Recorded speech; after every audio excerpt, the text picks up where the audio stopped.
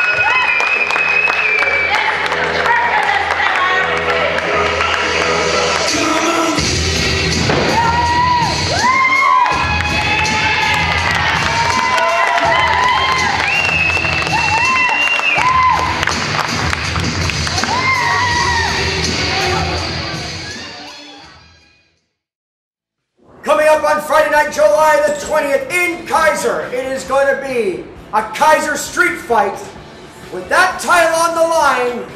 The self-proclaimed. Wait! Excuse me?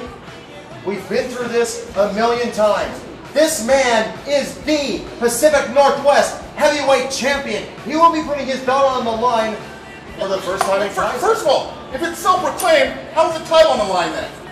You tell me that one. Come on, Smart Guy, what you You- got? you- you- Come on, Woodchuck, give me something. You got nothing. It's not a recognized title. You got. I think we're done. with- I think we're done with Talking you. about this. I'm tired of you downplaying this title. I picked this title for a reason. This has more prestige, more anything than a three-year-old title has. That's why I picked this. Don't you ever say it's self-proclaimed. On Friday, July 20th. Oh, what shall I, what shall I, what shall I do, C.W. Bergstrom? You know, funny thing is, is you want to sit there and you want to tell everybody it's not for this title, and you want to act like I haven't made you look like an idiot two times in a row. You want to say it's a personal, it's personal. Well, if you want to get personal, let's get personal. The reason you were the last Pacific Northwest heavyweight champion is because there's no one else in the locker room. Flat out. There was no one else in the locker room. Period in the story. But no, you want to make this personal. You say it's personal. Let me tell you something. This right here is the only thing that matters. This thing right here, CW, the only thing that matters. And I know deep down in your heart, you're wishing for 1989 so you could walk around the streets of Portland with this thing around your shoulder again, strutting just like I am right now, present day. So come Friday, July 20th, I'm the man. You know what? My brother's the king of the Oregon Street Fight. The, king of the Oregon Street Fight. And in Pleasure Creek, we fight dirty, pal. So I'm going to take Pleasure Creek to Kaiser, Oregon that night, and I'm going to lay everything on the line. And I promise all you people, I'm walking away with this. We made it personal, CW. We made it real personal. For information on upcoming events, news, interviews, videos, and more, visit us online at www.doaprowrestling.com. Also, be sure to follow us on Twitter, like us on Facebook, and check us out on YouTube. Welcome back, ladies and gentlemen. What you think of that? Did you see the way the dust flew off of C.W. Bergstrom's head when Jeremy Blanchard blasted him with that Pacific Northwest title? I thought I was watching a remake of Beetlejuice or something. and as you know, C.W. Bergstrom is going to try to wrest that Pacific Northwest heavyweight title away from Jeremy Blanchard in a street fight in Kaiser on July the 20th. That's very true. That that yeah. Did we get a dustbuster or did we have anything? Because I think the cleanup crew came out after the match. You know that that pesky little kid that hangs out and yeah, yeah, yeah. The true. lady taking the pictures. You know, we all do fulfill many roles here at DOA. I'm a fashionista, a co-host. You're a commentator, a co-host. Also very uh, very handsome. I am. Uh, to each their own. Hey, Anyways. French chicks dig me. Coming up next is another one of the Tag Team Memorial Cup Tournament semi-final matches. That's right. We have the DOA champion Ethan HD and the mean one Mike Santiago going up against Paynefully Large. I don't. We don't need any, any subtitles. I, I know what he said. You know what he said. He doesn't like them. We're all thinking it. Whatever. Chuck, Pat, it's okay. If you see him in an alley or whatever, do. I will admit though, both of these teams have good credentials. Yeah. Ethan HD is the longest reigning DOA champion in history. 300 plus days as champion. He won it last July from Quiz. Wow, has that all been that long? Been that long. And then Mike Santiago, although he's not the current champion, is the longest reigning pure wrestling champion in DOA history. Like I said, he should be the champion still. and he wants that belt back, CJ Edwards. Yeah. And then go ahead and talk about those other ones.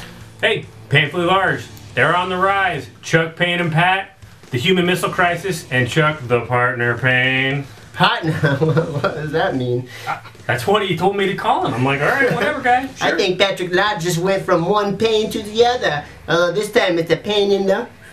Oh, easy. Unfortunately, Paynefully Large did defeat the Honor Society. Non-title, non-title, non-title. Because of that idiot Kevin Brandt, and we'll get into that next week. Exactly. Check it out.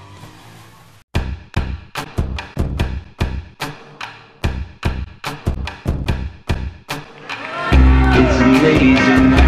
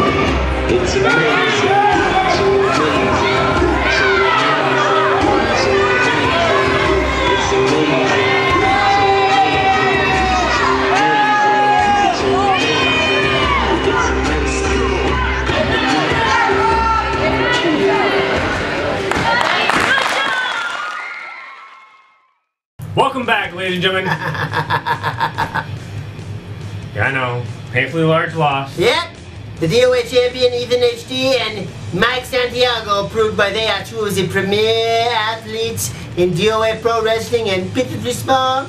You go back down the ranks. Try again. Hit that reset button, boys, and see if you can do it in the future. Anyway, on to more important things. And by more important things, I mean the Honor Society.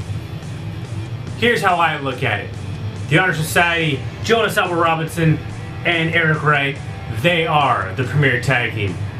Not Paynefully large, not Ethan and Mike, Don't you say it. not the left coast Casanovas. They don't need Kevin Brandt, and this is what they're gonna show you. This is why they don't need Kevin Brandt. So let's go to the Gentlemen's Club, the Honor Society, and Gentleman George Michael as they give Kevin Brandt his performance evaluation. Hey, hey, George, I love you, man. You're the best addition. All hail Europe.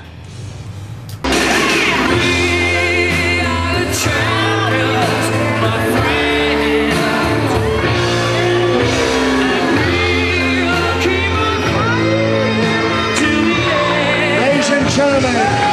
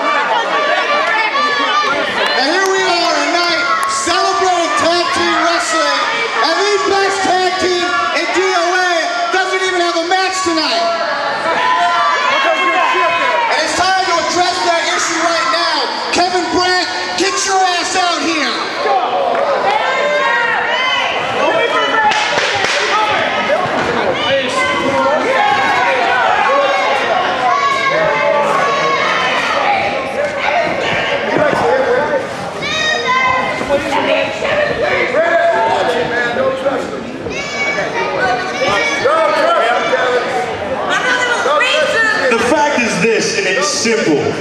All right, I show up here and I get behind the Honor Society, and what happens? They bring home the belts. Simple. I am gone. I am gone for one night, Kevin Brandt. Last night, and what happened? What happened? Yeah, caused them to lose the match.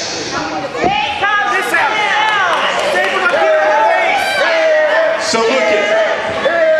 It's obvious under my expertise tutelage that they are going to go far. You, on the other hand, well, you're going to be honestly, honorably discharged. After all that's correct. That's right. Number one, hand over the Honor Society shirt. Come on. Give us the shirt, Kevin! We'll get your special underwear later. Not right now. I just want to say, Stand issue, moron! no, no, he, he deserves this much. He deserves this much. We appreciate what you've done for the company, that being the Honor Society, the Gentlemen's Club, etc. But you see, we've decided to go in a different direction, and you're just not what we're looking for right now. But then again, we wish you all the best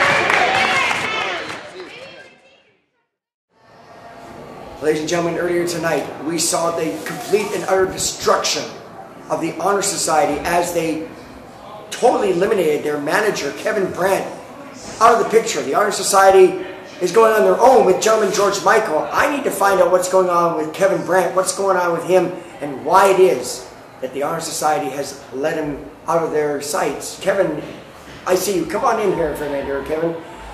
I got to talk to you a second here because I got to find out what's going on with the situation with you and the Honor Society. I mean, the other night you used a, a pan that ended up costing you guys a match. Now tonight they dismissed you outright. Well, all I know is that, you know, uh, Derek and I and Jason started DOA. And Derek's in Florida, Jason's in Texas, I'm gone. But, but wait a minute. You know what? Good riddance. Good riddance. See you later, Kevin Brandt. You were holding them down. They were champions without you. But gentlemen- hey, hey, hey. Don't interrupt me when I'm talking about my boys. Do not. Gentleman George Michael, like I told you, I'll go with Mr. Allah. Hail Europe. I'm an American, but you are the greatest. Jonas and Eric, it's going to be amazing to see the Gentlemen's Club just flourish. They're going to go all over. It's going to be amazing. Kevin Brandt, I'm glad you're done. Get out. Poor little Kevin Brandt. I got to tell you, I shed one lonely teardrop when he said he was done with DOA. He doesn't want to play. He's taking his balls and going home. So sad, too bad. now on to more important things. We have the Extreme 3 Challenge. with Homeboy Quiz and the devil himself, Derek Drexl. Chris, HBQ quiz, just won't listen. I've tried calling you, I've left voicemail messages, I've tried emailing you, I've sent you these video messages, I even sent you that pretty little picture that Aria drew for me. But you just won't listen. You couldn't just forgive and forget. You couldn't just let it go. You just walked away. No, Chris. It's the Extreme 3 Challenge. You get exactly what you want. Derek, you've gone way too far with this. Alright? And I'm sick of it. I'm sick of it. You know what? June 1st, we're ending this whole thing. Alright? Somebody's going down, and I don't give if I'm going to jail because your ass is going down.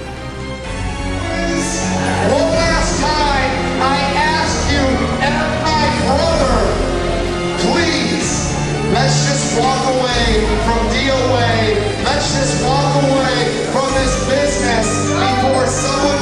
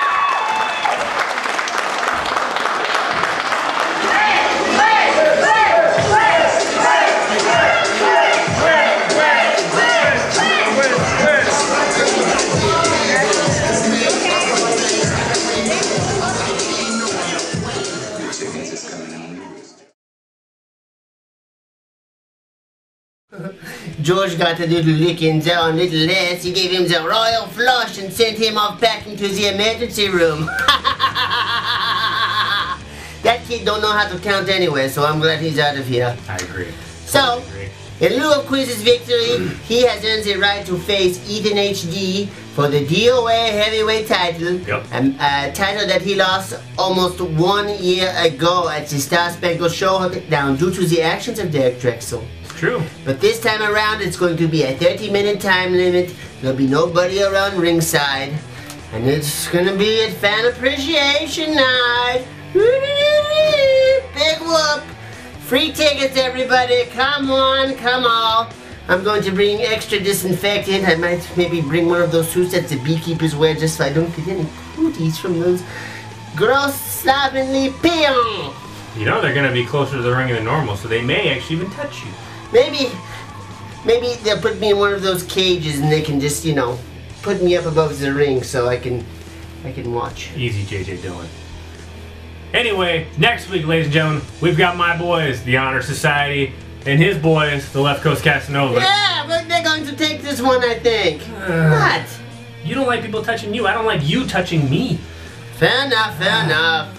Versus, Pitifully small. I knew that was coming. Rockin' Ricky D Gibson and Cameron Starr, who's not been in DOA for a while, but he got himself back into tip-top form. He cut out the carbs, and he's ready for action on a big eight-man tag match next week. And the Independence Battle Royal. This was something else for a debut in Independence. Check it out. And then we have the tournament finals of the Pacific Northwest Memorial Tag Team Cup Tournament. Those big monsters, those cyborgs, bad company, will be going up against the DOA heavyweight champion Ethan HD and Mike Santiago. And also against the Super Stache Brothers, Bishop and Sid Xylem, in a three-team elimination match. That means if one team gets pinned, submitted, counted out, DQ, whatever, they're eliminated and the match continues until only one team is left standing. I, I understood like a third of what you just said. Well, I think maybe, I hate to admit it, but maybe the DOA fans that are watching are a little bit more cultured than you, G-Shock, because I never ever hear them complain about my accent. When I come out there, just enraptured by my presence. You know they're saying boo, not ooh. It's What? Different. It's different. Trust me. What? I'm just just saying. Bother Dash. We'll discuss this later. Until next week, peons. Have a good one, ladies and gentlemen. Boo la la, how could anybody ever boo me? I mean, look at this style, look at this flair. And I'm not talking about Ric. I mean, come on, I bring a little bit of sparkle to the show, you know? Whatever. I'm just saying that don't don't don't refer to Ric Flair. Let me tell you something. Know, woo, that's what it's all about. Woo, that's what it's all about. I agree. He's the greatest wrestler of all time. Except for the MVP.